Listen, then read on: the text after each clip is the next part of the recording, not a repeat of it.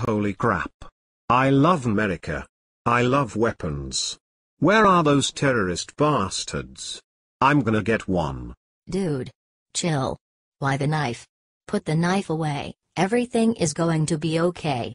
That's what you think. There are Taliban bastards everywhere.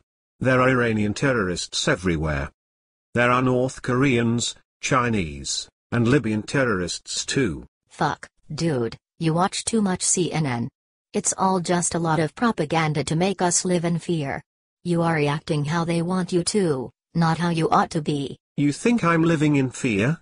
Get out of here, you little chicken. It's birds like you who spread avian flu. You are a flying fucking weapon of mass destruction. Dude. You need help.